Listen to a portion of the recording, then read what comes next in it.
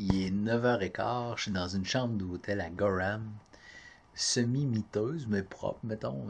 Bon, c'est pas parfait. J'aurais peut-être pas amené ma blonde.